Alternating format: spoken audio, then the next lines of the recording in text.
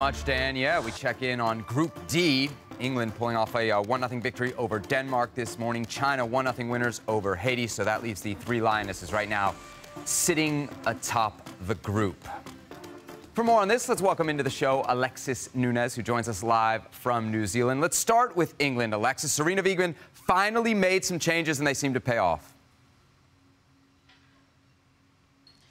Yes, Abby, these are the changes that we did want to see, specifically Lauren James. She's coming off a brilliant season with Chelsea. She has just been firing on all cylinders, and she's such an aggressive, physical type of player that I absolutely knew was necessary to break down that Danish defense. Um, Denmark, going forward, if they're not getting it to Pernille Harder, they really did struggle, and that's what we expected. We knew that England had enough firepower to break them down, but Lauren James with a stunner of a goal, as she's used to doing as well in the WSL. I mean, you just need to ask her brother Reece James, who says she's technically, in his opinion, better than some Premier League players that she plays with. But Lauren James was the number one name that I wanted to see start. Sarina Wiegman, I'm not one to tell her how to do her job, but she put her on, and you can see the difference she made.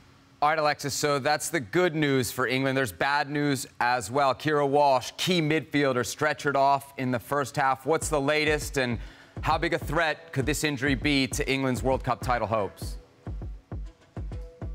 Oh, this is a massive, massive threat to England's title hopes because of the fact that they are already suffering a number of injuries to Beth Mead, their prolific goal scorer, their captain Leah Williamson, Fran Kirby as well. She's not here. And I was looking at that bench and I was saying it doesn't look as prolific as we saw in the Euros because they are without so many big names. But Keira Walsh is someone you want on every team. I remember a couple of years ago they had that quote that says if you're watching the game, you don't necessarily notice Keira Walsh, but if you watch Keira Walsh, you see the game she's that Sergio Busquets type of player. Everything really starts with her. And once I saw her go down and she said, mm-mm, and looked at Sarina Wiegman, you knew it was definitely not um, uh, going to make for pretty viewing. Sarina Wiegman said it herself. Anytime a player can't walk off the pitch, it's never um, a good thing. And I think that England definitely are going to miss her. We're still waiting to see exactly how bad this potential knee injury is. We're hoping that it's not an ACL because it's exactly what has kind of haunted a number of big name players going into this World Cup. But Keira Walsh is someone that you would never want off of your starting 11. She's someone that, like I said, the game starts with her, and she's so crucial to how England want to play at this World Cup. So massive, massive miss. Alexis, that's a story with England in Group D. Meanwhile, in Group B, one of the amazing stories of the tournament, Nigeria pulling a huge upset on Thursday over Australia, 3 to 2. It leaves Nigeria first in the group, and it's left their fans very, very happy. Let's listen in.